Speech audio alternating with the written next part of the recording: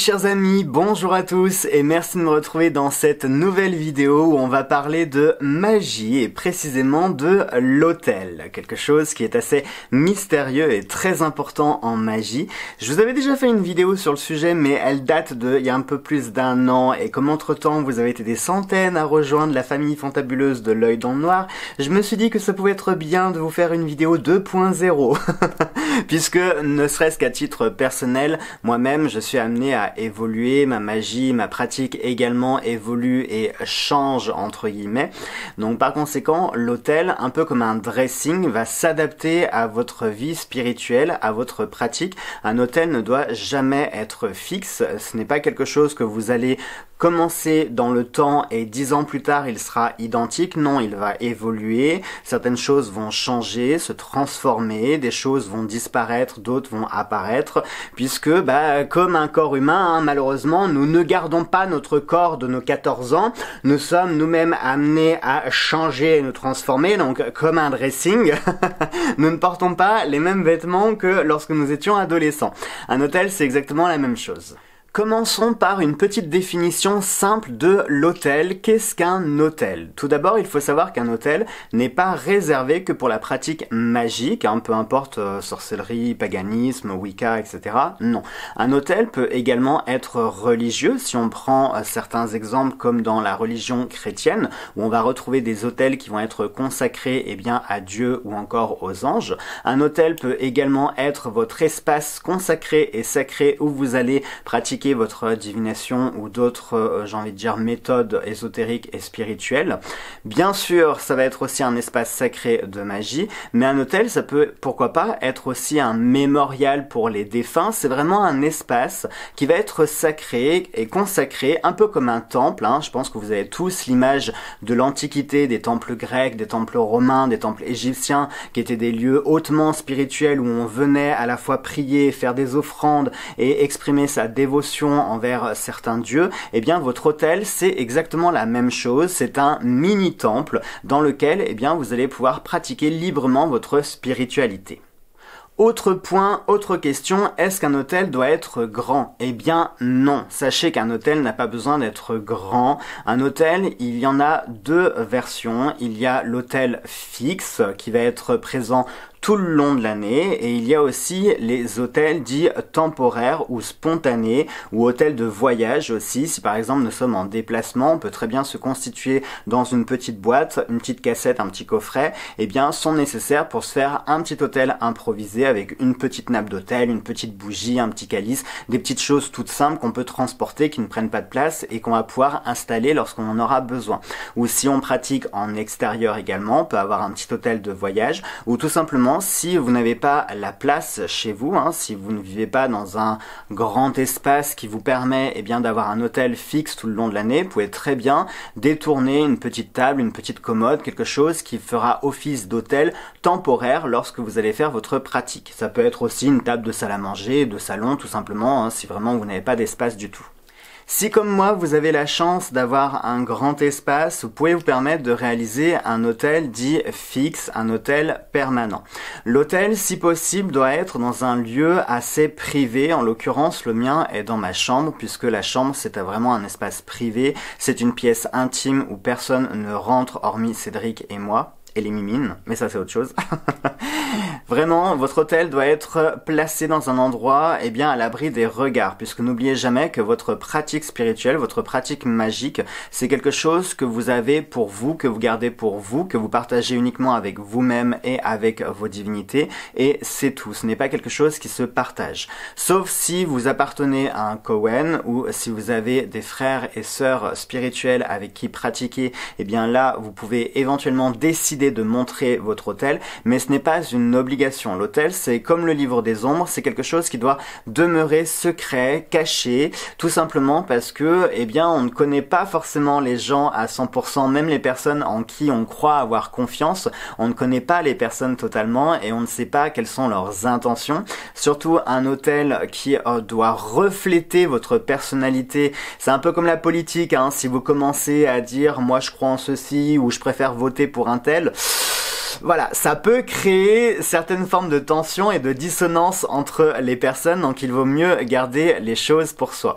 Là, moi, ça me tenait à cœur de vous le montrer parce que je sais que euh, voilà, vous êtes euh, bienveillant dans l'ensemble. Vous êtes une communauté formidable, il hein, n'y a pas à dire.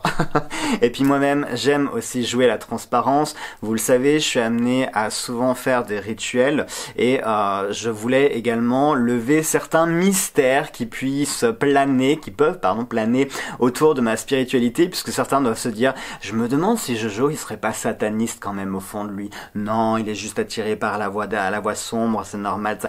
Donc j'avais envie de lever toutes ces questions en vous répondant et en vous montrant clairement mon hôtel et en vous expliquant et peut-être aussi que ça vous permettra eh bien, de pouvoir vous donner certaines idées pour pouvoir constituer votre propre hôtel.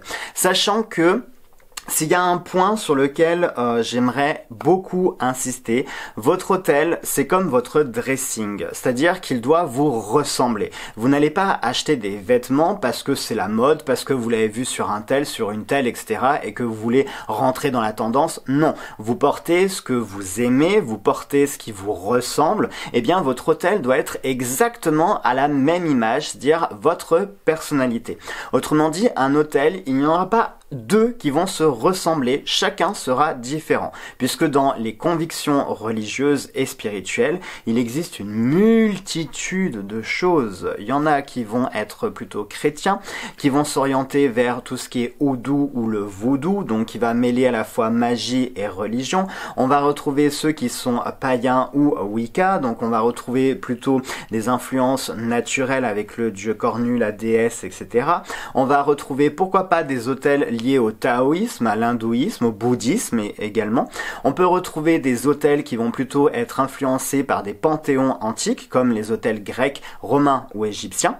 On va retrouver également des hôtels un peu plus sombres, on va se le dire, hein, des hôtels satanistes. Où, euh, alors là, je, cautionne moyennement. Ce n'est pas que je ne cautionne pas les hôtels satanistes, non, pas du tout. C'est simplement que on tombe rapidement dans des clichés, je trouve ultra vulgaires et, euh, et vraiment, ouais, vraiment clichés en fait. Il n'y a pas d'autre mot pour le qualifier. C'est-à-dire les bougies rouges, les nappes d'hôtel noires, des baphomettes de partout, alors que tout ceci n'a pas forcément de lien avec le satanisme. surtout quand on connaît les vraies lois et les vraies règles entre guillemets qui existent dans le satanisme, il y a une sorte de gouffre. Parfois, quand je vois certains hôtels assez sombres, je me dis non mais euh, lui, je pense qu'il a été plutôt influencé par le heavy metal que euh, véritablement par le satanisme. Parce on voit qu'il maîtrise pas bien son sujet.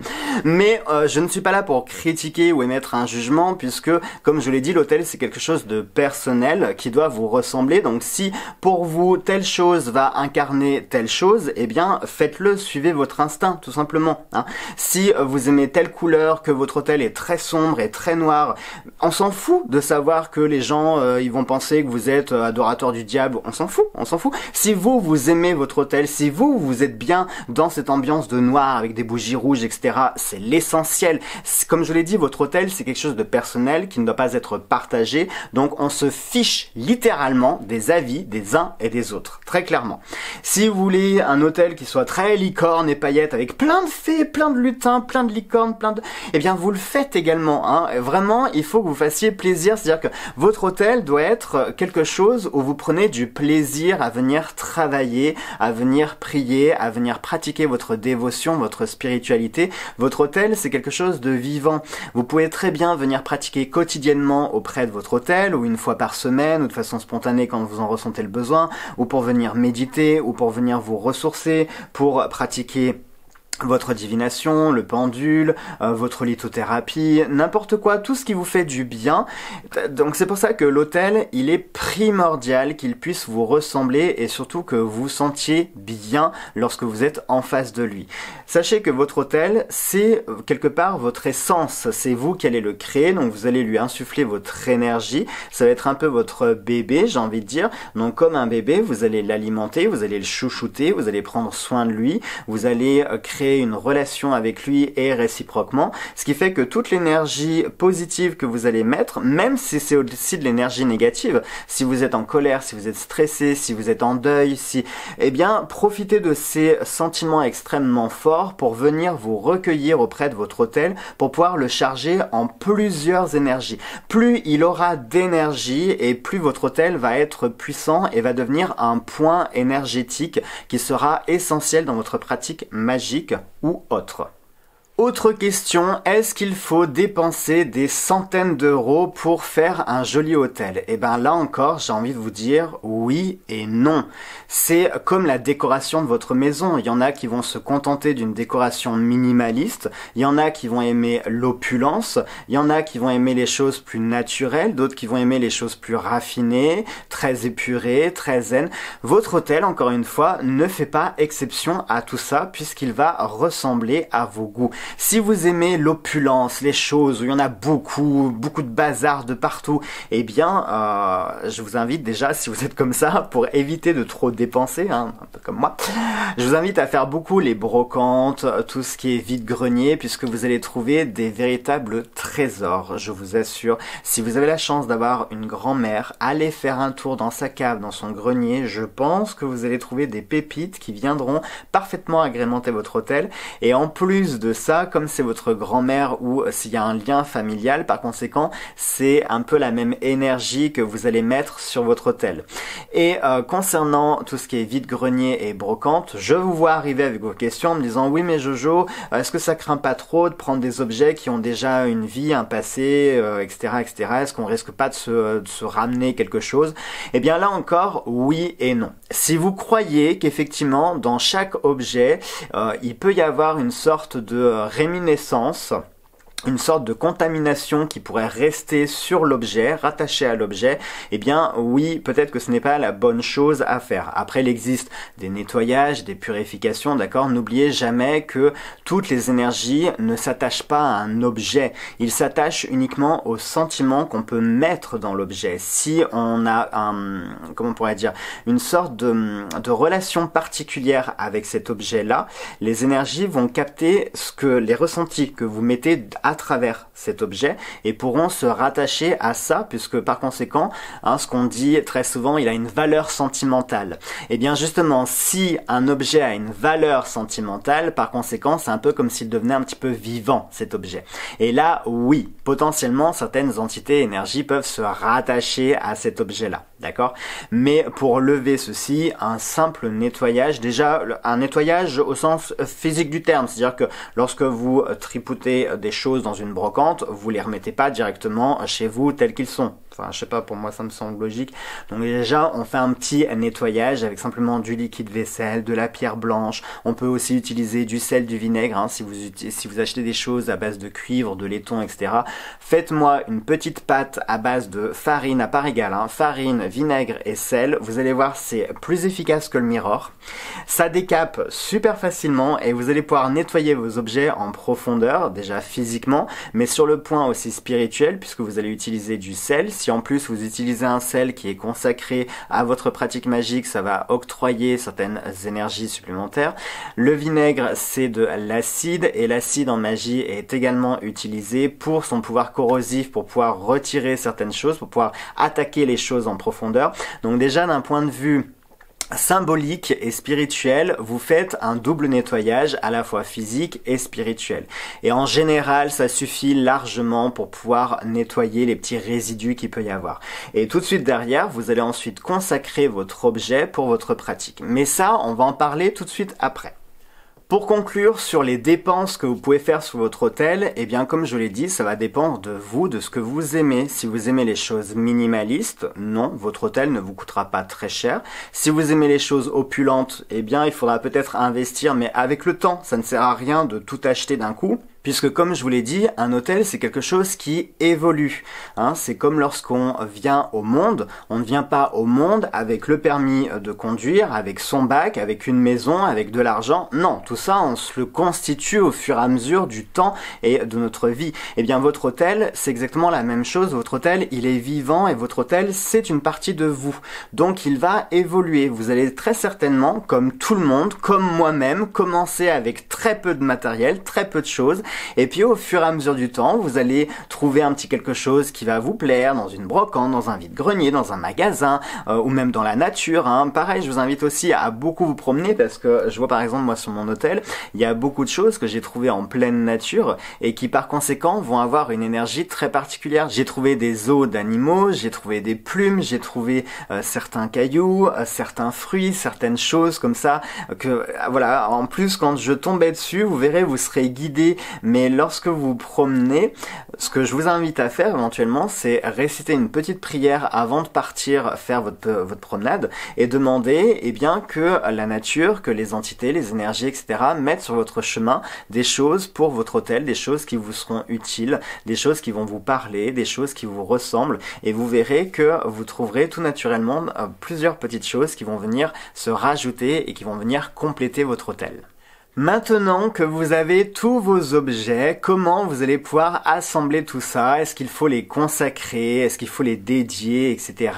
Je réponds à toutes ces questions. Alors, il va y avoir deux écoles, c'est-à-dire que si vous faites un hôtel permanent, une consécration originel suffira pour la, toute la durée de votre hôtel. C'est-à-dire que si vous trouvez un petit chaudron dans une brocante ou un vide-grenier, une fois que vous l'avez nettoyé, que vous l'avez purifié et que vous l'avez consacré à votre pratique magique, que ce chaudron ne servira pas à autre chose que votre pratique magique, à savoir servir d'incinérateur pour faire des potions rituelles, etc., etc., il n'y a pas l'utilité de le reconsacrer, puisque à partir du moment où il a été consacré une fois, vous lui avez retiré son identité, ce à quoi il servait, son passé. Hein, c'est un peu comme si on fait une sorte de reboot sur le passé de l'objet. Maintenant, voilà, avant tu servais pour faire euh, la soupe de la grand-mère. Aujourd'hui, tu ne feras plus jamais de soupe. Tu es dédié à ma pratique magique. Vous pouvez éventuellement énumérer euh, ces, euh, fonctions, dire tu me serviras en tant qu'incinérateur, en tant que euh, réceptacle pour accueillir l'eau, euh, pour faire de la divination, etc., etc. Voilà, vous citez toutes ces fonctions et une fois qu'il sera consacré, eh bien, vous n'aurez pas besoin de le reconsacrer. Même lorsque vous le nettoierez ou que vous le purifierez, c'est-à-dire que lorsque vous allez sentir que l'objet est très chargé, puisque n'oubliez pas que la magie, c'est avant tout une pratique spirituelle qui consiste à manipuler des énergies.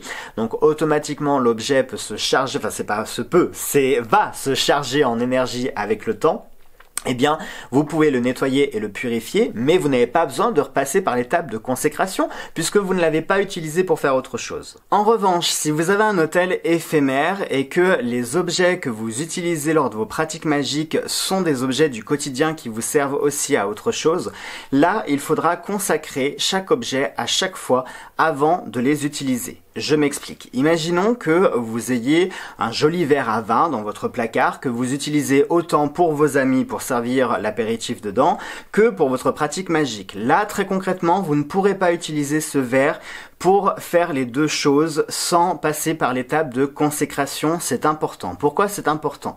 Parce qu'un objet qui est voué à une utilisation, si on en détourne sa fonction sans dire ce pourquoi il va être utilisé désormais, ça peut créer une sorte de dissonance énergétique qui fera que eh bien potentiellement ça peut venir polluer votre rituel. C'est pourquoi votre joli verre à vin, lorsque vous l'utilisez pour vos amis, il n'y a pas de problème. Par contre, lorsque vous le nettoyez et que vous allez l'utiliser pour faire votre pratique magique, faites un petit rituel de consécration à chaque fois en disant j'enlève euh, ton identité à savoir euh, que tu me sers pour les festivités, machin et tout, et euh, je te donne telle fonction pour ce temps donné, voilà, tu seras mon réceptacle pour l'eau, mon réceptacle pour le vin, pour les jus de fruits, euh, tu serviras de partage, de communion, euh, enfin tout ce que vous voulez, mais il est important à chaque fois de passer par cette étape de consécration pour pouvoir détourner sa fonction première et en dédier uniquement un usage propre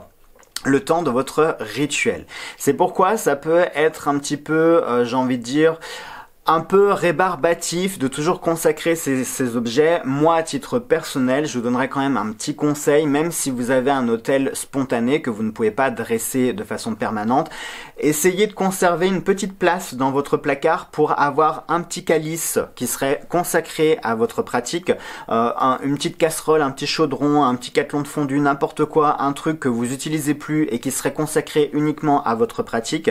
Et même si vous n'avez pas votre hôtel qui est dressé de façon permanente, au moins vous saurez que dans un petit coin de votre appartement, de votre maison, vous avez des petits, des petits objets qui sont uniquement consacrés et dédiés à ça. Voilà. C'est mon conseil à moi. Après, bien sûr, libre à vous de le faire ou pas, mais je trouve ça plus pratique parce que euh, lorsqu'on est amené à euh, pratiquer, on n'a pas forcément les, euh, les réflexes à chaque fois de consacrer les objets. Je prends mon cas, quand on a un hôtel, un hôtel dressé de façon permanente, avec des objets qui sont consacrés uniquement à une seule pratique, bah il n'y a pas le réflexe à se dire oh là là je dois le consacrer. Non, je sais que lorsque je me mets devant, mon hôtel, tous mes objets sont uniquement voués à un usage magique.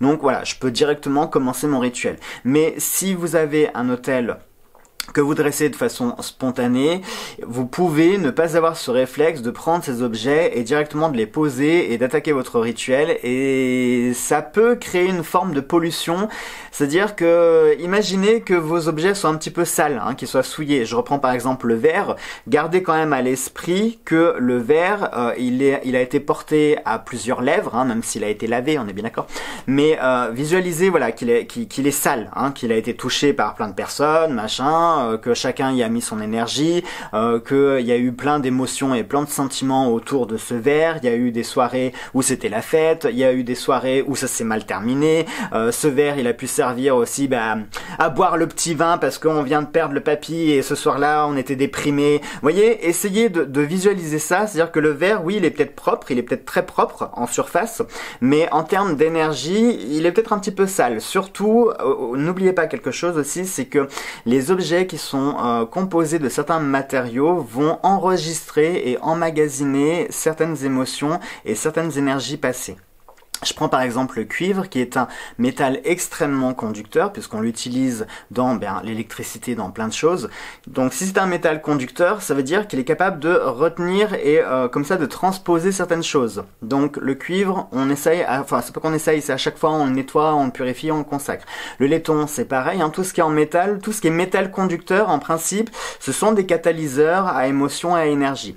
Le verre c'est pareil, il faut faire attention, si on utilise du verre, du cristal, hein, c'est euh, quand même quelque part, euh, alors je vais pas dire c'est de la pierre comme de la métisse ou du quartz, mais c'est quand même du sable, donc c'est effectivement de la pierre qui a été transformée, qui devient un cristal, et le cristal a un pouvoir vibrant aussi, c'est bien connu, donc même un simple verre en cristal, il faut aussi le consacrer, il faut aussi le purifier, d'accord? Ainsi, euh, votre atamé aussi, c'est un simple couteau de cuisine à manche noire.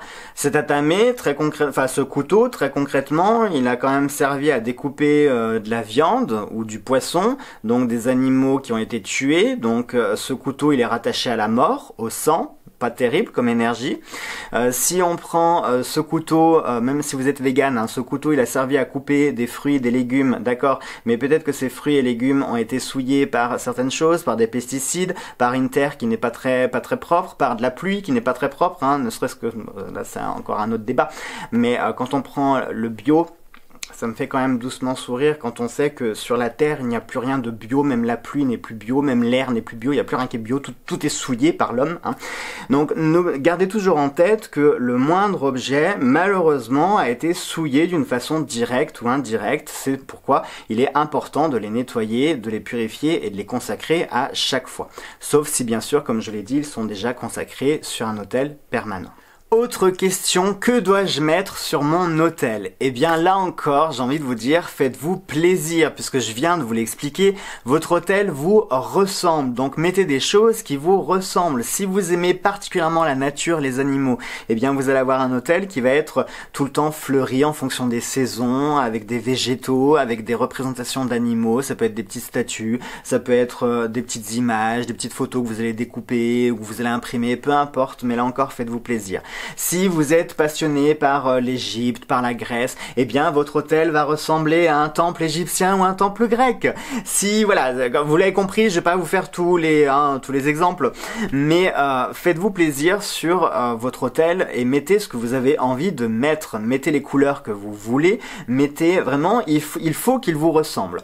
Après, je suis pas trop fan et, et j'en ai vu, j'en ai vu quelques-uns malheureusement, où des fois j'entends dire oui alors sur l'hôtel il faut impérativement un calice et ceci et cela, il faut un atamé, il faut un chaudron, non pourquoi il faut non c'est votre hôtel doit ressembler à votre pratique, c'est-à-dire que si euh, vous n'êtes pas euh, Wicca païen sorcier ou autre, vous n'avez pas l'utilité d'un atamé, d'un chaudron. Vous voyez ce que je veux dire hein Si euh, vous, votre hôtel, il est consacré aux anges, que vous travaillez avec Dieu, avec Marie, si vous êtes chrétien ou autre, bah, vous n'avez pas besoin d'un atamé, pas besoin d'un chaudron, pas besoin d'un livre des ombres. Euh, enfin, vous voyez ce que je veux dire Il n'y a pas besoin de tout ça. Hein euh, votre hôtel doit vous ressembler par rapport à votre pratique. Donc, si votre pratique vous dit que vous avez besoin d'un chaudron parce que vous avez l'utilité d'un chaudron, effectivement, il faudra un chaudron.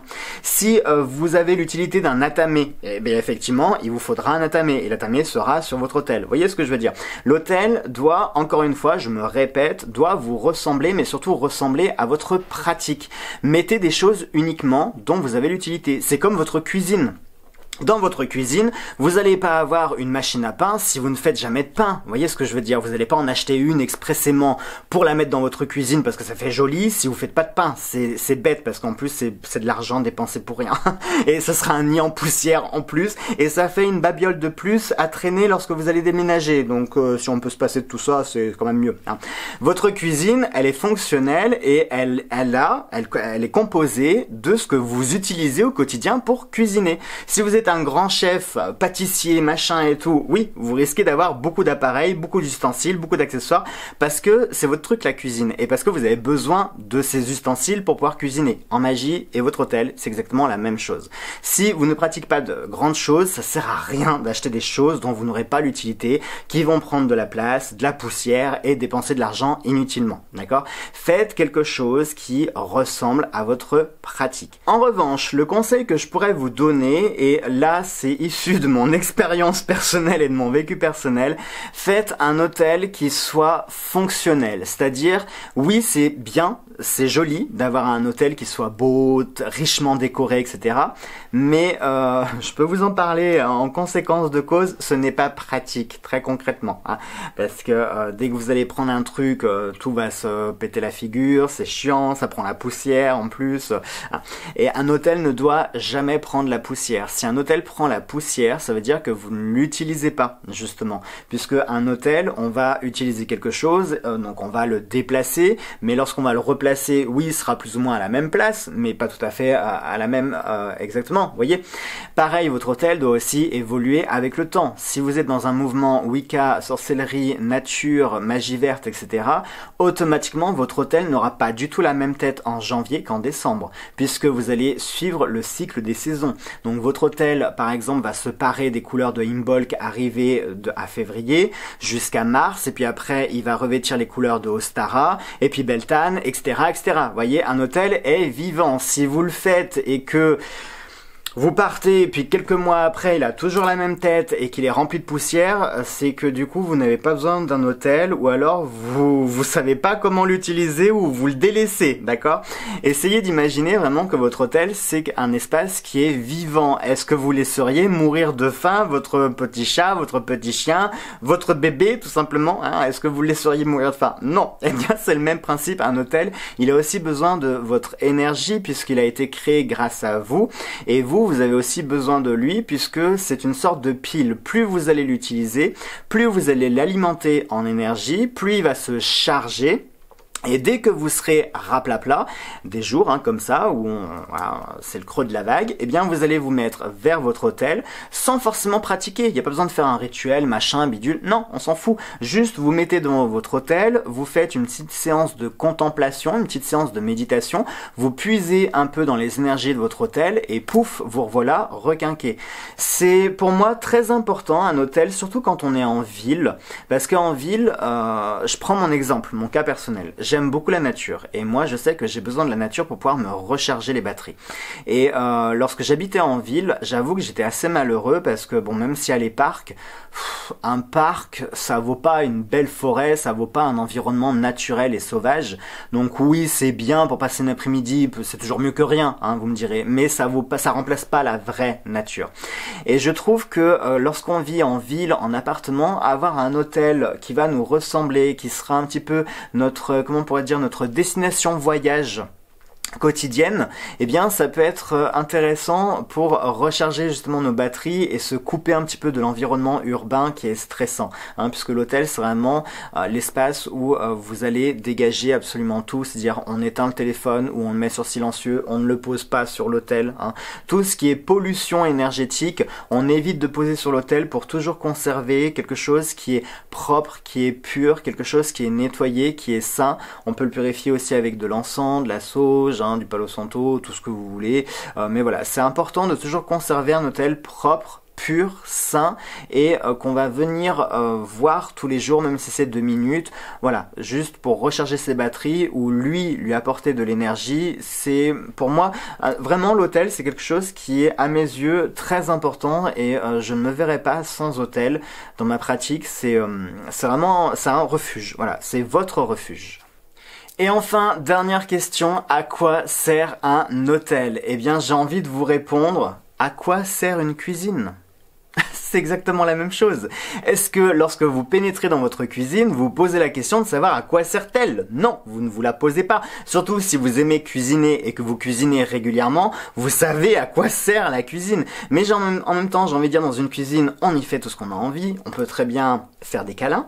On peut très bien euh, manger dans la cuisine ou à l'extérieur. On peut, pourquoi pas, euh, faire une activité, un loisir dans la cuisine. Enfin, on peut faire n'importe quoi dans une cuisine. Un hôtel, c'est exactement la même chose. Vous n'êtes pas obligé de faire que de la cuisine. Hein. Une cuisine peut faire plein de choses.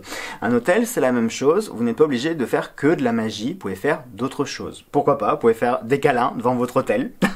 la magie sexuelle existe, pourquoi pas?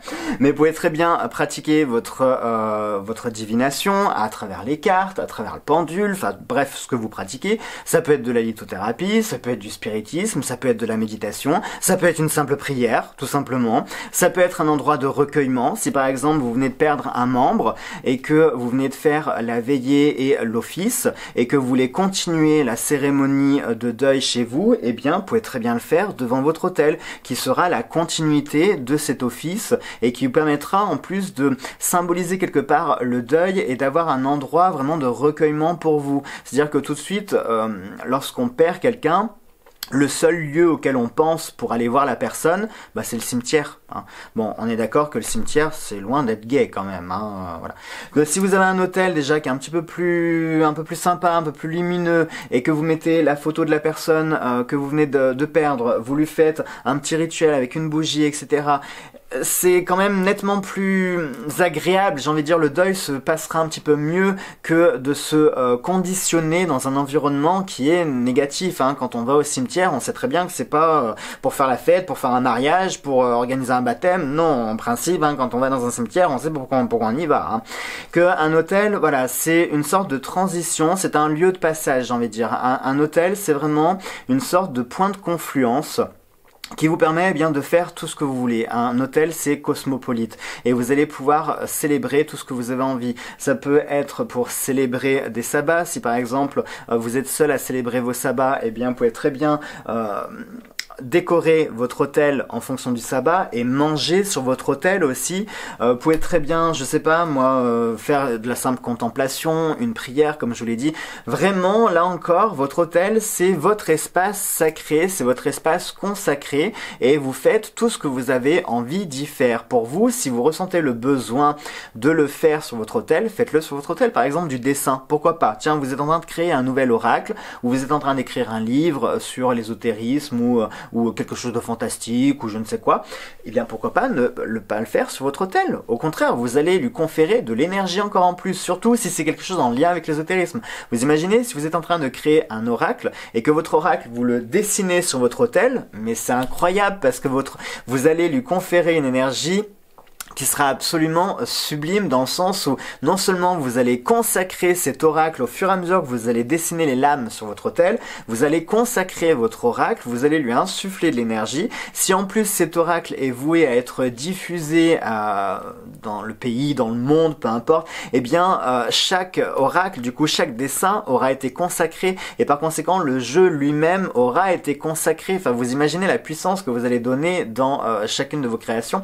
Donc non, au contraire, ne vous dites pas euh, il faut que non mon, mon hôtel sera uniquement réservé à ça. Non, non, ne vous limitez pas à quoi que ce soit. Au contraire, Faites tout ce que vous avez envie de faire auprès de votre hôtel puisque chaque chose que vous lui donnerez sera un plat, un nouveau plat dont il va se nourrir et dont après il va irradier par son énergie. Donc non, au contraire, faites-vous plaisir et faites un maximum de choses sur votre hôtel. Voici le moment que vous attendiez toutes et tous, que je vous dévoile mon hôtel pour savoir comment est-ce qu'il est fait, comment il est organisé, que je vous explique le pourquoi du comment. Eh bien, patience, tout ceci arrive dans quelques instants. Alors, sachez que mon hôtel n'a pas toujours été comme ceci, mais que la version que je vous montrer dans cette vidéo est la version 2.0. C'est une version que j'aime beaucoup et je trouve que mon hôtel cette fois-ci me ressemble complètement puisqu'il est adapté à mes besoins, à ma pratique. Il reflète complètement qui je suis, ce en quoi je crois, et euh, je suis plutôt euh, satisfait du résultat pour l'instant, puisque peut-être que dans un an, dans deux ans, dans dix ans, il aura encore changé de forme et il aura très certainement changé de forme.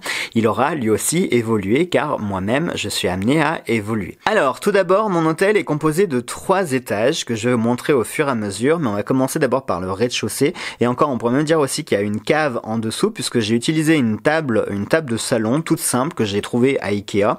Pour ça, franchement, Ikea, je vais pas faire de la pub pour Ikea, mais euh, ils ont des petites choses qui sont assez sympathiques, qui ne coûtent pas très cher puisque cette table là, euh, c'est les tables de base, vous savez, elles sont en coloris euh, blanc, noir, je crois marron aussi et beige.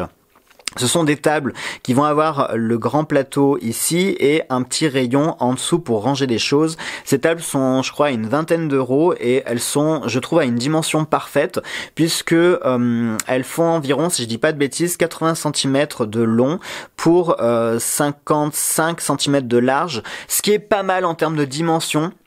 Ça prend pas spécialement euh, de place, sauf si bien sûr vous vivez dans un studio, hein, bien, évidemment ça prend de la place. Mais si vous vivez, dans un appartement, on va dire moyen ou une maison, euh, je pense que la table peut être casée quelque part sans problème. Et euh, par-dessus, j'ai mis une autre petite table. Et enfin, c'est pas vraiment une table puisque c'est un banc à chaussures qui est dans la même marque, enfin dans la même dans la même référence également. Et celle-ci est également composée d'un rayon et d'un plateau. Et elle est un petit peu plus petite puisqu'elle fait également 80 cm de long et je crois que de large elle fait 25-30 cm. Ce qui est pas mal parce que du coup ça peut être utilisé comme étagère à mettre par-dessus comme moi je l'ai fait. Et je trouve ça assez pratique. Ça permet d'avoir un meuble tout en un qui fait un peu, euh, vous savez, le meuble type secrétaire. Et euh, c'est bien quand on a pas mal de choses et qu'on veut ranger plusieurs choses.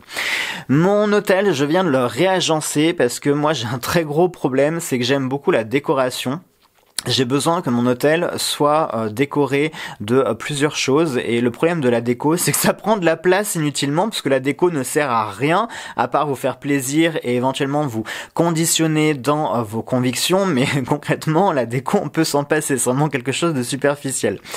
Et c'est pour ça que je l'ai réagencé parce que ça me convenait pas. J'avais plus du tout de place pour faire ma pratique. Donc par conséquent j'ai nettoyé le plateau pour pouvoir poser un de mes tapis fétiches que vous connaissez que vous me réclamez toutes et tous, alors sachez que ces tapis-là, je les avais trouvés sur AliExpress et c'est le cercle d'invocation de euh, Chloride, donc de l'animé Card Captor Sakura.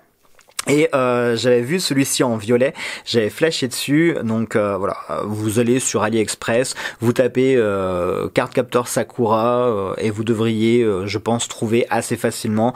Si vous êtes intéressé, je pourrais toujours partager les liens, donc vous me direz si vous voulez à tout prix ces tapis, je vous dirai tout, je vous donnerai tout, ne me tapez pas. Alors pour le plateau, c'est vraiment mon espace de travail, celui où je vais réaliser mes rituels. Et on peut voir plusieurs choses dessus sur le tapis, puisque c'est vraiment l'espace sur lequel je vais travailler. Donc on peut voir ici un... Euh, alors c'est pas un calice, c'est un encensoir que j'ai placé à l'est grâce à ma boussole qui est ici. Donc le nord, moi, est dans cette direction-là. Donc par conséquent, j'ai placé, j'ai essayé de placer, hein, euh, de, me repérer grossièrement, puisque comme je viens de vous le dire, le nord part dans cette direction-là. Donc euh, il aurait été compliqué en fait de, euh, il aurait fallu que je décale tout pour vraiment avoir le nord et le sud, mais c'était pas esthétique, ça me plaisait pas. Donc j'ai fait approximativement au nord. Donc on va retrouver ici à l'est mon encensoir avec une petite plume que j'ai trouvée en extérieur. Au sud on va retrouver mon atame puisque pour moi l'atame je l'associe à l'élément du feu. Beaucoup d'entre vous, ne serait-ce que par le tarot, vous associez l'épée à l'air, mais euh, moi ça me parle pas, ça me parle vraiment pas. Pourquoi? Parce que pour moi, que ce soit l'épée ou l'atamé, c'est du métal et le métal a été forgé dans le feu. Donc pour moi, euh, l'atamé et l'épée est porteur de l'énergie du feu puisqu'il est né grâce au feu. Donc pour moi, l'épée et l'atamé, je l'ai toujours associé à l'élément du feu par rapport à la baguette ou au bâton comme dans le tarot, qui est associé au feu. Alors peut-être parce que c'est du bois, qui dit bois dit permettre de créer du feu. Moi ça me parle pas, honnêtement ça me parle pas puisque euh, le bâton ou la baguette sert à commander, ça sert à entre guillemets brasser de l'air, hein, puisqu'on va le bouger, il va être en mouvement, on va euh, s'en servir pour créer euh, des cercles, pour créer des invocations, pour ordonner, pour commander, pour bannir, etc. Donc pour moi, toutes ces actions-là permettent de brasser de l'air au sens propre du terme. Donc pour moi, le bâton et la baguette est associé à l'élément de l'air. Voilà. Bon, mais c'est ma conviction. Hein, si pour vous l'atamé vous évoque l'air, libre à vous Hein, encore une fois, je vous propose uniquement que ma version parce que ça me parle à moi. D'accord? Ensuite, à l'ouest, on va retrouver le calice avec euh, la représentation de l'eau. Au nord, on va retrouver le pentacle. Et euh, par-dessus, j'ai mis donc mon petit disque que vous connaissez, hein, que je vous avais montré, que j'avais pyrogravé là euh, avant Noël. Et tout autour, je sais pas si vous allez voir, autour de mon cercle, j'ai mis plein de petites choses que j'ai trouvées en extérieur, à savoir ici des os d'animaux, des petits cailloux, des petits marrons, des trèfles à quatre feuilles, des petits coquillages, vraiment des choses qui, voilà, qui sont en lien avec la nature, qui m'évoquent la nature et euh, qui m'ont parlé au moment où je les ai trouvés. On va également retrouver euh, certaines pierres de lithothérapie, comme ici, donc c'est de la purpurine que je dois à ma petite Caroline à qui je fais un bisou, qui me l'a offert pour euh, mon anniversaire et qui est une pierre que je ne connaissais pas, c'est une pierre violette, qui a une énergie de dingue. Mais quand je vous dis de dingue, c'est-à-dire que lorsque je l'ai prise en main, j'ai failli l'échapper tellement j'ai pris un, coup de jus dans la main, mais au sens propre du terme. Je l'ai euh, donné à ma maman, elle a eu la même réaction. Si vous connaissez cette pierre, elle est incroyablement énergétique. Je ne la connaissais pas, c'est une très belle découverte, vraiment. On va retrouver certaines icônes. Alors j'espère que ça, ça va passer euh, sur YouTube, que ça va pas être striké, quoique on, on voit pas trop. Mais cette statue c'est la représentation du dieu Pan. Euh, c'est la représentation qui a été utilisée par la chrétienté pour en faire l'image symbolique du diable, hein, puisque le dieu Pan, il a des petites cornes, il a un phallus assez proéminent, puisque ben, Pan est connu pour ça, hein, c'est le dieu du plaisir, de la nature, euh, des, choses charnelles, il incarne le masculin sacré, etc.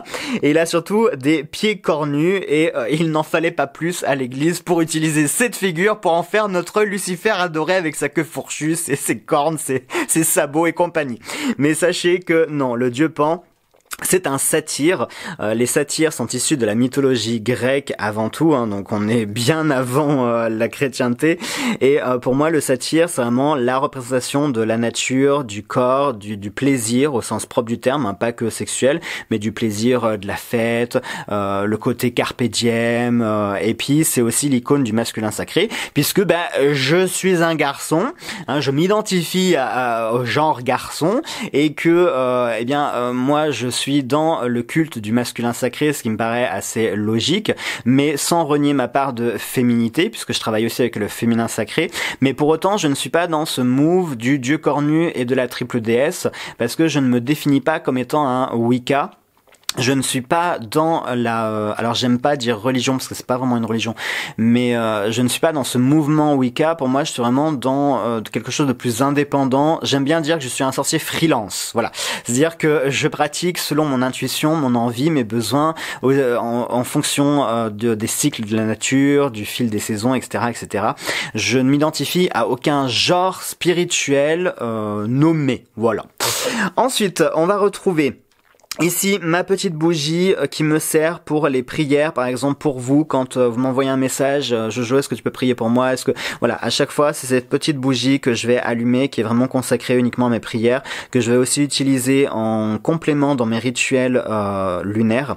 J'aime bien avoir cette petite bougie qui, voilà, que j'allume dès que j'ai une pensée pour quelqu'un, dès que je vois quelque chose qui m'a contrarié aux actualités ou autre. J'aime bien avoir une petite symbolique comme ça.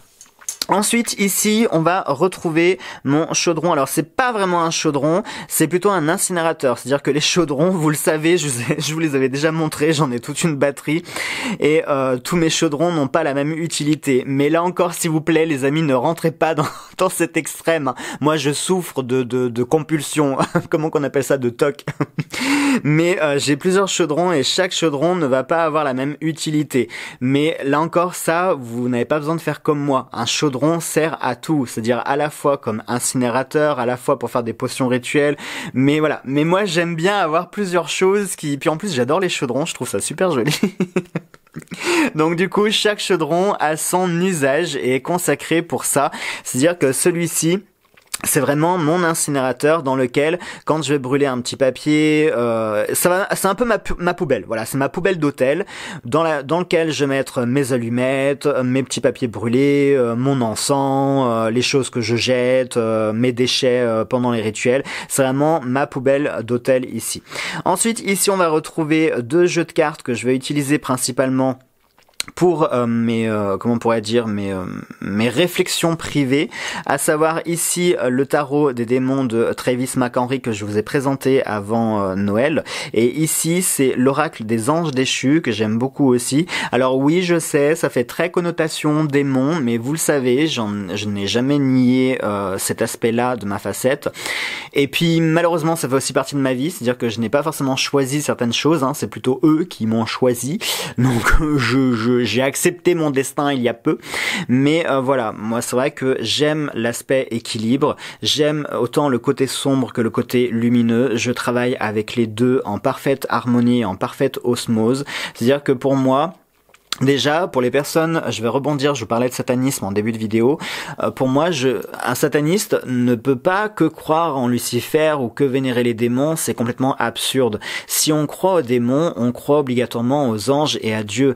Euh, ça va avec, ça va de pair, puisque euh, si on prend l'histoire et la mythologie qu'il y a autour des démons, de Lucifer, etc., ce sont des anges qui ont été bannis du paradis. Donc il y a forcément ici la notion de Dieu et d'ange. Donc croire à l'un sans croire à l'autre, c'est complètement absurde. Enfin, euh, c'est comme dire qu'il y a euh, que l'homme qui existe sur Terre ou que la femme sur Terre. Non. Si on croit en l'homme, on croit en la femme, et si on croit en la femme, on croit en l'homme. Enfin, les deux vont de pair, quoi. C'est, bah là, c'est exactement le même principe. Et euh, moi, c'est quelque chose aussi que j'ai accepté mais je vous en parlerai, si ça vous intéresse, je ferai une vidéo dédiée euh, à ce, que je crois exactement et vous parler un petit peu de mon parcours spirituel parce que c'est vrai que je vous en ai jamais vraiment euh, évoqué le sujet. Bon, mais c'est pas le sujet dans cette vidéo-là, ne nous écartons pas. Donc ici, voilà ce qui constitue la plus grosse partie de mon hôtel pour tout ce qui est pratique. Vous l'aurez compris, si j'ai positionné les éléments, c'est que moi, ma pratique magique est faite et se repose essentiellement sur les éléments de la nature, les élémentaux. Je travaille beaucoup avec la nature principalement c'est euh, c'est mon truc, c'est mon truc. C'est pourquoi sur tous mes hôtels, on va toujours retrouver les quatre éléments présents et le centre de mon hôtel sera toujours représenté par quelque chose qui incarne l'akasha, l'esprit, le cinquième élément. Et ici en l'occurrence, c'est une petite euh, poupée euh, vaudou, mais c'est pas une vraie, c'est une poupée qui appartient à un jeu. Elle a un petit cœur sur sa poitrine et je sais pas, je la trouve tellement mignonne. Et puis la poupée vaudou, c'est l'incarnation de la personne, c'est l'incarnation de l'esprit. C'est voilà pour moi m'évoque l'esprit. Et pareil, on retrouve souvent des crânes euh, aussi sur mes hôtels, puisque le crâne, c'est là où siège le cerveau, c'est là où siège l'âme, c'est le temple de l'âme, donc c'est l'incarnation même de l'akasha et de l'esprit. Moi, je fonctionne énormément par symbolique. Et euh, votre hôtel doit aussi représenter des choses qui vous parlent, des choses qui sont symboliques pour vous. Allez, on monte d'un étage avec donc euh, le petit palier ici. On va retrouver plusieurs choses qui vont plutôt être des euh, accessoires que je vais utiliser pour mes rituels. Les choses que je vais principalement utiliser le plus parce que bien évidemment, et comme vous en doutez, il y en a partout dans la chambre, à savoir euh, le grand placard où il y a mes oracles, mes livres, il y a aussi beaucoup de choses, mais des choses que je vais utiliser de façon plus spontanée ou plus spécifique lors de rituels particuliers. Là, on va vraiment retrouver les choses que je vais utiliser le plus dans mes rituels, à savoir par exemple mes différents calices. Je vais avoir un calice et un autre Là encore, c'est comme pour les chaudrons, il va y avoir un calice qui va être euh, réservé pour l'eau et une coupe qui elle va être réservée pour euh, le vin, les jus de fruits qui va être partagé. Le calice va avoir plutôt un côté cérémoniel, quelque chose d'un petit peu euh, privatif que moi seul vais utiliser par rapport à la coupe qui elle va être quelque chose de partagé. On va retrouver également mes créations comme ma petite croix de Brigide que j'avais fait pour euh, euh Imbolc 2022. Ici derrière ma petite cloche, même si là aussi les cloches, j'en ai toute une collection. En fait, je réalise que j'ai vraiment un problème moi. je suis passionné et collectionneur pour absolument tout ce qui touche à la magie. J'ai vraiment un problème. je, pense que je, je pourrais ouvrir l'école de Poudlard d'ici quelques temps, hein, si ça continue. à côté, je ne sais pas si vous allez voir, juste ici, non, on ne le voit pas très bien la caméra, mais ici j'ai un petit miroir à main que je vais utiliser pour certains rituels de réflexion, pour euh, également pratiquer la divination ou euh, pour euh, renvoyer certaines formes d'énergie. Le miroir a vraiment une énergie qui est très particulière. Hein. ici, on va retrouver mes petites poupées. alors, je vais pas dire vaudou parce que tout de suite ça va faire flipper. Mes petites poupées rituelles, puisque une poupée de rituel ne sert pas qu'au vaudou. Hein. on ne plante pas des épingles dans toutes les poupées. Ça, c'est un cliché vulgaire et vraiment grossier. Une poupée peut servir à plein d'autres choses, par exemple pour des rituels de guérison, pour représenter quelqu'un dans le plan physique. Euh, voilà, ça, peut vraiment avoir une utilité. Moi, dans, dans, dans ma magie, j'aime beaucoup utiliser les poupées et les rubans parce que je trouve que ce sont deux accessoires qui sont incroyables avec lesquels on peut faire plein de choses, soit pour créer des liens, pour briser des liens, pour renforcer des liens, pour rapprocher des personnes, pour séparer les personnes. Vraiment, on peut faire plein de choses et euh, j'adore euh, tout ce qui est ruban et poupées. C'est vraiment quelque chose que j'ai assez en quantité. Derrière, je sais pas si vous allez voir ici là, j'ai euh, des petites épées en métal alors à la base c'est euh, un truc je crois pour l'apéritif si je dis pas de bêtises pour euh, planter des, olives. Mais moi j'en avais détourné euh, l'utilisation pour eh bien dans des rituels on va dire un petit peu plus comment on pourrait dire ça le cliché de la poupée voilà. Je n'en dirai pas plus. Là derrière on va avoir une petite décoration une petite citrouille pour bah, l'honneur à Sawain hein, parce que c'est ma fête préférée. Ici on va avoir un petit chevalet avec une carte de l'oracle des anges déchus qui me sert un petit peu tous les jours, c'est-à-dire que tous les jours, je me tire un petit ange déchu pour avoir l'énergie euh, du jour. Si c'est quelque chose qui vous intéresse, je peux vous le mettre sur Instagram si vous voulez. Euh, voilà, tous les jours, je mets le, petit ange déchu, hein, si ça peut vous intéresser avec l'énergie qui va avec.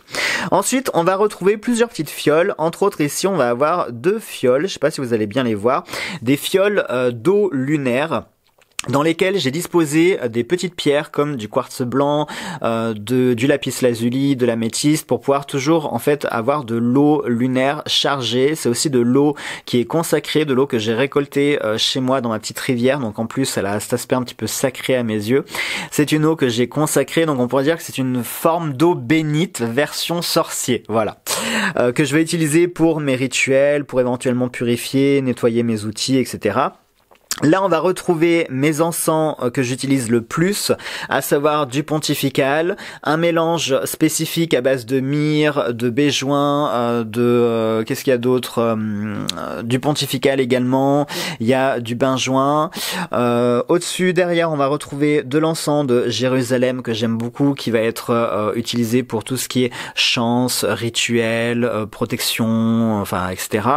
Là, à côté, on va avoir du sang de dragon, pareil, qui est un encens que j'aime beaucoup, qui est extrêmement fort, et euh, le pontifical juste ici, qui est mon encens préféré. Je trouve que s'il y avait un seul encens en grain à posséder, ce serait le pontifical, car pour moi, le pontifical, c'est un peu le paracétamol des encens. C'est-à-dire qu'il est euh, polyvalent, il fait un petit peu pour tout. Voilà, si vous savez pas trop quoi utiliser, si vous n'êtes pas euh, spécialiste des encens et surtout les encens en grains peuvent coûter assez cher. Je prends par exemple l'encens de dragon, c'est de la résine en fait, c'est une résine qui provient d'un arbre et cette résine coûte assez cher et l'encens de dragon c'est un des encens qui coûte les plus chers. Mais voilà, si vous n'êtes pas spécialiste et que vous n'avez pas forcément un gros budget, le pontifical se trouve relativement facilement à des prix très abordables. Il hein, faut compter quoi, 2-3 euros à peine pour un sachet de pontifical. Et c'est vraiment un encens qui en plus sent très bon qui parfume très bien la maison, qui euh, est très caractéristique par son odeur puisque dès que vous pénétrez dans une église, vous savez cette odeur d'église hein, spécifique. Eh bien, c'est l'encens pontifical justement. Donc euh, tout de suite, quand on sent cette odeur, on se projette immédiatement dans l'aspect spirituel puisqu'on se projette dans une église, on voit certaines choses et ça aide à la concentration. Donc le pontifical, ce serait celui que je vous recommande le plus. Ensuite, ici, on va retrouver du Palo Santo. Derrière, ma petite boîte à ruban. Ici, le pot à souhait que j'avais fait pour le rituel, que je conserve euh, près de moi, que je conserve sur mon hôtel. C'est important. Ensuite, ici, on va avoir mon petit mortier et pilon euh, qui est en laiton pur. Donc autant vous dire qu'il pèse un âne mort. Ici, on va avoir mes petits charbons et à côté euh, des feuilles de sauge auxquelles je tiens beaucoup parce que c'est ce qui me reste de mon jardin. J'avais euh, il y a quelques années un grand potager et j'avais cultivé beaucoup de plantes et de fleurs aromatiques en plus des fruits et des légumes et j'avais fait une, une, réserve, une quantité incroyable et il m'en reste encore. Donc pour vous dire quand même, surtout la sauge, elle m'avait envahi tout le jardin. Bref, j'aurais une anecdote incroyable à vous raconter sur certaines plantes qui sont très invasives. La, la sauge fait partie des plantes invasives. et ici, on va retrouver euh, mes deux pots de sel, à savoir ici, c'est de la fleur de sel de Camargue, donc que j'avais consacré pour euh, mes rituels. Et derrière, on va avoir du sel noir d'Himalaya. Alors là aussi, je voudrais euh, vous parler rapidement de ces de ces sels, le sel rose et le sel noir d'Himalaya. Euh, il faut savoir que je ne suis pas du tout pour les conditions de travail parce que les, ceux qui travaillent, les mineurs qui extraient ce sel, il faut savoir déjà que c'est un sel de terre, ce n'est pas un sel de mer, et les conditions de travail sont absolument épouvantables épouvantable et je ne suis absolument pas pour les conditions de travail. Donc si vous vous orientez vers du sel rose d'Himalaya ou du sel noir d'Himalaya, mettez-y le prix, s'il vous plaît, et orientez-vous vers des choses qui sont liées au commerce équitable, etc. Parce que vraiment, il y a, euh, voilà, il y a, il y a un commerce qui est franchement, euh, qui est franchement euh, immonde par rapport au sel rose et au sel noir. Pourquoi avoir deux sels Tout simplement parce que le sel euh, de Camargue, c'est du sel de mer, donc du sel qui est consacré et chargé en énergie euh, de l'eau, avec l'élément de l'eau. Et le sel noir ou le sel rose sont des sels de terre, donc ils vont être consacrés par l'énergie de la terre. Et c'est intéressant d'avoir deux sels différents pour avoir deux énergies différentes en fonction des rituels qu'on a à faire. Et ensuite, sur tout le pourtour, on va retrouver des petites décorations. Ici, c'est le dernier en date, c'est le petit marque-page qui est arrivé avec le livre oracle de Arcana Sacra. Ici, j'ai une petite broche en forme de rose, des petites étoiles luminescentes. Euh, au-dessus, on va retrouver des petites feuilles qui vont être liées bien sûr au cycle de la nature, Matriquetra. Ici, on va retrouver le petit fou issu de la bande dessinée du voyage du fou justement euh, que je vous ai présenté. Donc si vous ne l'avez pas vu allez la voir. Et on va passer maintenant au dernier étage de l'hôtel alors pour cette troisième et dernière partie, c'est peut-être celle qui va vous faire le plus peur, mais qu'importe, je vais vous expliquer avant de paniquer, de zapper, de mettre un dislike sur la vidéo. Attendez que je vous explique. ne commencez pas à m'insulter de sataniste. je vais vous expliquer tout ça. Donc la dernière partie, c'est toute ma partie qui va être dédiée un peu aux divinités, au panthéon auquel je suis rattaché, même si j'ai pas franchement de panthéon auquel je suis rattaché. Vous le savez, je suis passionné par l'Égypte, par tout ce qui est antiquité, mais pour autant je ne me définis pas euh, comme euh, un religieux euh, de l'antiquité, hein, pas du tout. pareil pour la chrétienté, je ne me définis absolument pas comme un chrétien, même si j'ai été baptisé protestant et que j'ai grandi dans l'univers catholique, protestant et orthodoxe, puisque mes familles baignent respectivement dans ces trois branches de la chrétienté. Je ne me définis pas pour autant chrétien. Je ne crois pas en Dieu à proprement parler, c'est-à-dire je ne crois pas euh, au cliché euh, de, de l'homme, de l'homme avec une grande barbe, une grande toche blanche. Euh, ça, je crois pas. Le paradis, je ne crois pas non plus en des belles prairies euh, remplies de chérubins où ça joue de l'harpe toute la journée. Je ne crois pas ça non plus. Donc foncièrement, je ne crois pas non plus que le diable ressemble à un mec avec une queue fourchue, des sabots, des cornes et compagnie.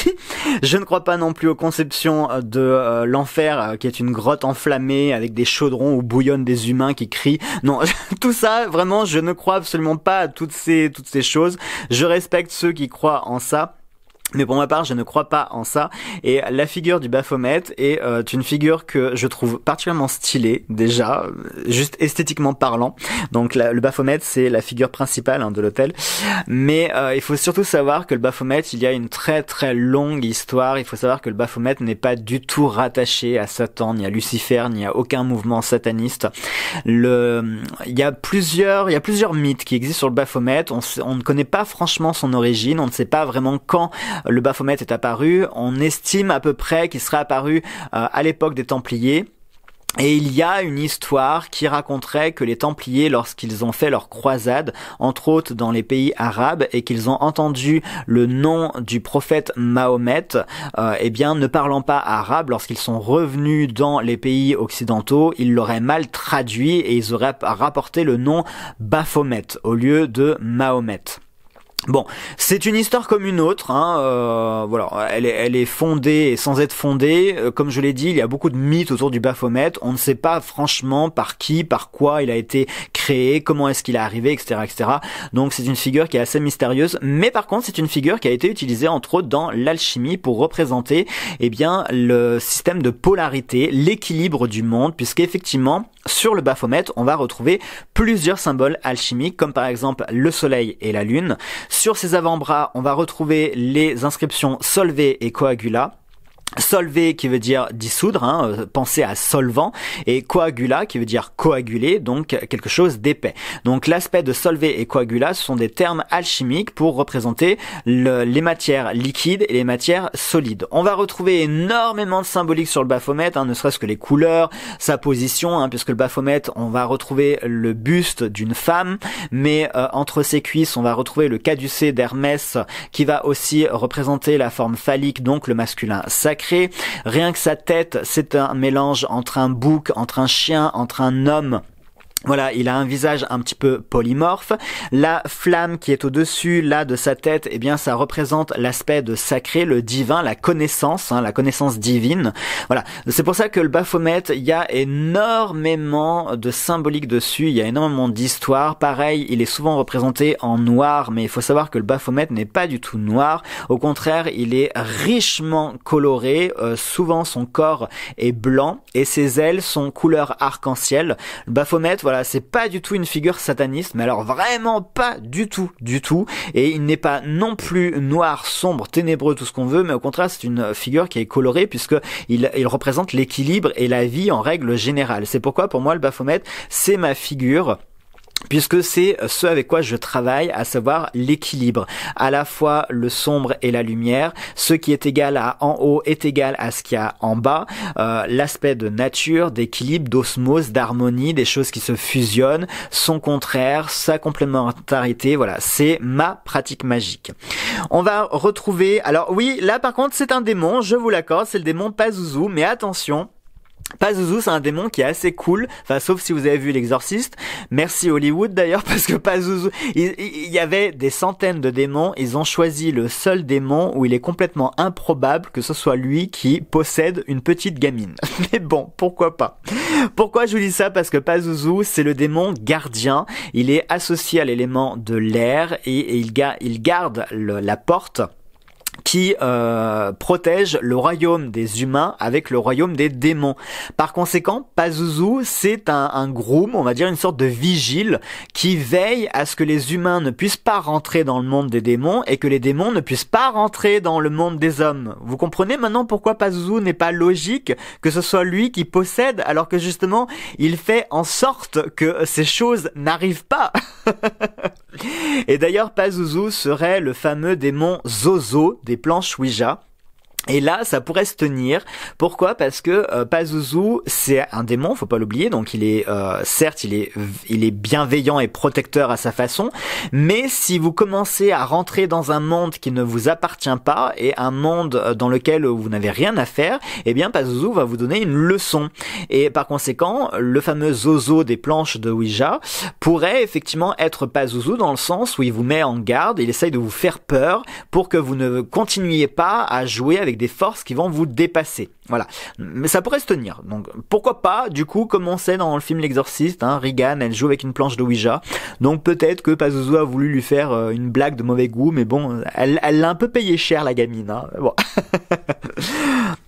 Ensuite, à côté, on va retrouver un crocodile euh, blanc, un crocodile albinos. Alors ça, c'est le petit clin d'œil euh, à plusieurs choses. Euh, d'une part, à la sortie que j'avais faite avec Cédric et le petit, on était allé à la ferme au crocodile qui est située à Pierre-Latte, en Ardèche. Si vous ne connaissez pas, je vous invite à faire cette activité. C'est incroyable. Je ne pensais pas qu'il pouvait exister des bestioles pareilles, je vous jure. je le savais, mais quand on le voit à la télé, quand on les voit en vrai, c'est assez impressionnant. Ne serait que les crocodiles du Nil, qui sont mais alors des bestiaux épouvantablement gros et grands et qui font franchement flipper. Et euh, surtout, ce crocodile albinos, c'est aussi mon clin d'œil pour la passion à l'Égypte, hein, les crocodiles du Nil le dieu Sobek. Voilà, c'est euh, mon petit clin d'œil comme ça à, euh, l'Égypte, tout simplement. À côté, on va avoir une boule de sélénite. Hein. Ça, pour moi, c'est indispensable d'avoir une boule de sélénite sur un hôtel. Ça permet de protéger, de purifier les énergies, de les renouveler. Et de l'autre côté, qu'est-ce qu'on va retrouver? Alors, on va retrouver ici une petite statuette qui est, euh, pour moi, l'incarnation de mon veilleur puisque vous le savez, hein, je ne suis pas euh, suivi par euh, un ange gardien, euh, mais plutôt par son contraire. et c'est ce qu'on appelle un veilleur. Alors un veilleur, c'est un petit peu plus, c'est un... peu plus complexe que ça. C'est-à-dire, ça peut être un démon, mais ça peut être un ange, ça peut être plein de choses. Un veilleur, il, conserve son identité secrète, c'est-à-dire qu'il ne veut pas révéler son identité. Tout ce qu'on peut savoir, c'est que c'est quelque chose qui est très fort, qui est très puissant. on ne le choisit pas, c'est lui qui nous choisit. C'est lui qui se manifeste à nous c'est lui qui euh, voilà on nous l'impose hein. c'est un peu comme la famille. On, on choisit pas sa famille. Voilà bah, c'est le même principe. Le veilleur c'est lui qui va vous choisir et euh, il, il, vous suivra toute votre vie. Et en fonction eh bien de euh, de ce qui se passera il vous conférera certaines euh, comment on pourrait dire certaines facultés certaines connaissances euh, certaines facilités dans la vie. Et en contrepartie il va aussi vous protéger comme un ange gardien va le faire. Mais il peut aussi s'en prendre assez violemment à ceux qui vont vous faire du mal. Ça, c'est quelque chose que j'ai pu vérifier souvent, c'est-à-dire que les personnes qui me faisaient vraiment beaucoup de mal, euh, il leur arrivait des tuiles assez euh, assez conséquentes et assez importantes dans les semaines ou mois qui suivaient euh, ce qu'ils m'avaient fait. Bon, euh, ce qui me vaut euh, une réputation euh, de gars qui pratique la magie noire pour me venger. Alors pas du tout, c'est pas du tout moi qui fais quoi que ce soit, c'est c'est c'est ce qui me protège, qui agit pour moi. Hein Qu'on soit bien d'accord. À côté, on va retrouver. Alors ça, je suis désolé, c'est un peu le cliché biblique, mais on va retrouver un serpent avec une pomme, qui pour moi est le passage de la Bible que que j'aime bien dans le sens où ça nous parle ici de tentation. Alors la pomme est euh, le, le, fruit de la connaissance, même si dans la Bible il n'est pas cité une pomme. Hein. À aucun moment il n'est cité une pomme. Je sais pas d'où la pomme sort. À mon avis, je pense que ça doit être attaché à Newton ou des choses comme ça. Mais la pomme n'est pas citée. Et puis en plus, les, les pommiers euh, dans les pays de la Bible, comment vous dire que ça n'existait pas franchement? Donc pour moi, serait, le fruit de la connaissance serait plus une grenade ou des choses comme ça qui collerait mieux déjà avec les pays où se situent les actions euh, de la Bible, mais un pommier, non. un pommier, je vois pas bien. Mais bon, soit. Euh, donc du coup, la pomme représente la connaissance. Et le serpent, c'est aussi celui qui représente la mutation, la transformation, puisque vous le savez, hein, le serpent, il change de peau, il se renouvelle sans arrêt. Et la magie, c'est la même chose. Elle ne doit jamais conserver les mêmes attraits, mais doit sans cesse se renouveler. On est toujours à apprendre, on est toujours à évoluer, à grandir. Et par conséquent, le serpent, même si c'est un animal qui me fait très peur avec les araignées, alors je suis pas phobique des serpents ni des araignées, mais voilà, je, je suis mal à l'aise quand il y en a, on va dire. je les tuerai pas mais euh, mais c'est moi qui pars. mais pour autant, le serpent, je le trouve un aspect, euh, je sais pas comment dire, assez classe, assez mystérieux. C'est vrai que c'est celui qui vient séduire aussi Eve, mais derrière le serpent ne se cache pas forcément Lucifer, mais pourrait aussi se cacher Lilith. Hein, je vais pas revenir sur le mythe de Lilith, je vous en parlerai en temps et en heure, mais euh, voilà, le serpent, il a cet aspect assez euh, assez classe, assez prestigieux, et euh, et puis c'est un animal qui c'est un animal totem, hein, qui est rattaché à la magie, bien évidemment, et voilà, pour voilà pourquoi je voulais mettre un serpent sur mon hôtel.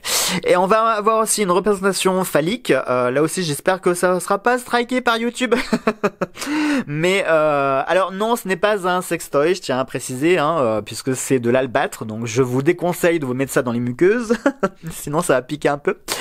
Et euh, la représentation du phallus, c'est par rapport bien sûr au masculin sacré, hein, c'est euh, aussi bête que ça pour les, euh, les femmes ou même les hommes qui travaillent avec le féminin sacré, ils vont avoir des représentations de euh, la féminité, de la triple déesse, etc. Moi, je travaille avec le masculin sacré parce que je m'identifie au genre garçon.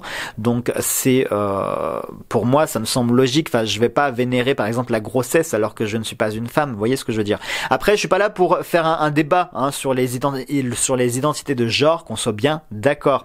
Mais c'est moi, je m'identifie en tant que garçon ma pratique magique est tentant comme euh, et puis je suis un homme qui aime les hommes aussi. Donc quelque part on peut dire qu'indirectement je vénère euh, le, masculin sacré hein, euh, indirectement. Donc pour moi c'était aussi logique d'avoir cette, cette représentation là sur mon hôtel. Et puis enfin les petits bougeoirs eux n'ont pas forcément de représentation à part, comme je l'ai dit, pour le crâne qui, pour moi, incarne l'aspect d'Akasha, l'esprit. Hein. Mais c'est simplement que ces bougeoirs, je les avais trouvés super beaux. Je les avais trouvés sur Amazon. Ils étaient soldés en plus de ça, euh, puisque le bougeoir, je l'avais payé 9 euros, alors qu'aujourd'hui, ces bougeoirs, si je vous dis pas de bêtises, je crois qu'ils sont à 30 ou 40 euros. Donc j'avais pris une paire, euh, ça m'avait fait 20 euros, alors qu'aujourd'hui, pour 20 euros, vous avez même pas un bougeoir. Et puis à côté, on va avoir ici une petite branche de fleurs de cerisier euh, parce que euh, les fleurs de cerisier poussent souvent euh, au mois de mars. Le mois de mars, c'est mon mois d'anniversaire et voilà. Et puis la, la, fleur de cerisier, le sakura, fait partie des fleurs que j'aime beaucoup, que je trouve très jolies, qui sont très odorantes en plus. Et, et puis c'est ma petite passion pour le Japon puisqu'il faut savoir que je suis passionné par l'Égypte et par le Japon. Et, et puis voilà. Et puis c'est aussi l'incarnation de la nature. On peut voir aussi ici une clé, une paire de clés trousseau de clés. Alors, ce trousseau de clés, pour moi, ça représente vraiment la clé, c'est euh, tout ce qui ouvre les portes. Hein. Donc, les portes, quand on pratique la magie, on ouvre des portes, on en, on en ouvre, on en ferme, etc. Donc, euh, pour moi, c'est euh, cette représentation-là des portes qui s'ouvrent et qui se ferment. Et derrière la tête du Baphomet, vous ne le voyez pas bien, mais il y a un pentacle en bois, et derrière, il y a une fleur de vie également en bois pour tout simplement l'énergie, pour réharmoniser les énergies euh, aussi simplement. Voilà mes chers amis pour cette vidéo sur l'hôtel. J'espère que celle-ci vous aura plu. Si c'est le cas, je compte sur vous pour me mettre un petit pouce bleu, pour vous abonner à la chaîne, commenter, partager. Bref, vous connaissez le racolage de youtubeurs. J'espère également que bah, ça vous aura permis de vous donner certaines idées si vous voulez constituer votre hôtel, si vous débutez en magie. Peut-être que ça vous aura éclairé sur certaines choses. En tout cas, je le souhaite de tout cœur. Sur ce, je vous embrasse fort et nous on se retrouve très vite dans de prochaines vidéos. Prenez bien soin de vous.